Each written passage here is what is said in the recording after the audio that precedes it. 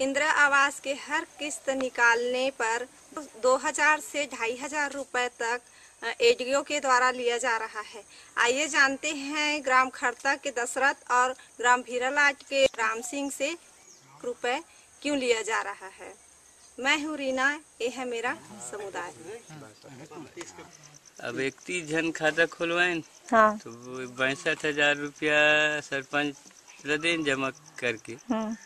और में इकतीस हज़ार ला कामड़े ला दी। कामड़े कौन है? तो ग्राम सेवक और बाकी पैसा?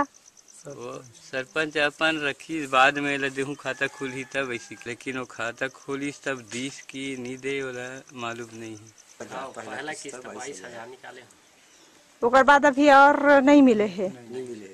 सवाल नहीं किए कि दो दो हज़ार रुपया क्यों ले रहे हैं खाता खुलाने के लिए? अब दो दो हज़ार नहीं देंगे ना तो हमारा घर नहीं बनेगा। कौन बोलता है? सरपंच बोलता है जिस दो दो हज़ार जब जमा करोगे ना तभी तो तुम्हारा किस्त पास होगा हम्म, खाता खुलेगा।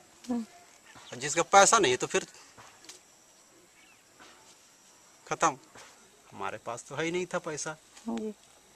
तब इधर उधर से धान वान बेच बच के गरीब आदमी तत्काल दो तीन दिन के अंदर अंदर ही भी तो दो दो हज़ार रुपया हमने दिया ग्यारह जने। कर्मचारी है तो उन लोगों तो वेतन तो देता ही होगा शासन, है ना? लेकिन गरीब आदमी से जो पैसा ले रहा है, वो तो मेरे को बहुत गलती लग रहा है, मैडम।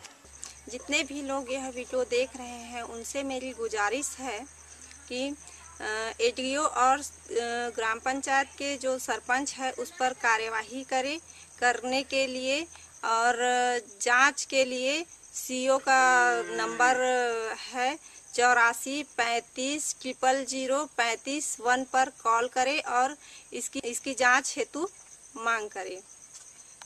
मैं रीना राम टेके ग्राम भीरालाट, जिला गरियाबंद, छत्तीसगढ़, इंडिया अनहट के लिए।